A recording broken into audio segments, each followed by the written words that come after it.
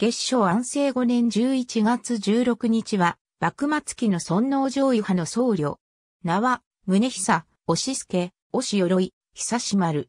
文化10年、大阪の町医者の長男として、讃岐吉原に生まれた。文政10年、叔父の増会のつてを頼って、京都の清水寺上樹院に入り、天保6年住職となった。しかし、尊王攘夷主義に傾倒して、公家たちや活動家たちと関係を持ち、徳川家貞の将軍軽視問題では一橋派に組みしたため、幕府から危険人物とみなされた。西郷隆盛と親交があり、西郷が尊敬する島津成明が急死した時、殉死しようとする西郷に対し止めるように諭している。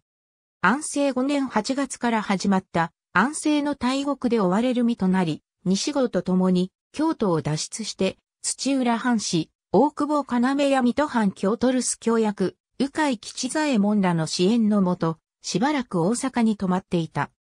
さらに老中、真鍋秋勝の入京に先立ち、西郷の強い希望により、有村俊斎らの助力を受けて、西郷の故郷である薩摩藩に帰路逃れたが、藩では厄介者である月賞の保護を拒否し、日向国送りを命じる。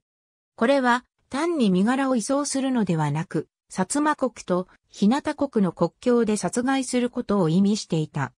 これを知った月賞は死を覚悟し、西郷と共に、金港湾に受水自殺した。月賞は死亡したが、西郷は奇跡的に一命を取り留めている。去年46であった。美目、清秀、異様単元にして、風彩おのずから人の慶喜を引くと伝えられている。墓は、月照ゆかりの清水寺と西郷の菩提寺である南州寺にあり、清水寺では、月照の命日である11月16日に、落葉期として法要を行っている。なお、月照の弟、新海は、兄の死後、上樹院の住職を継いだが、兄などと共に活躍したことから捕獲され、江戸で獄死した。ありがとうございます。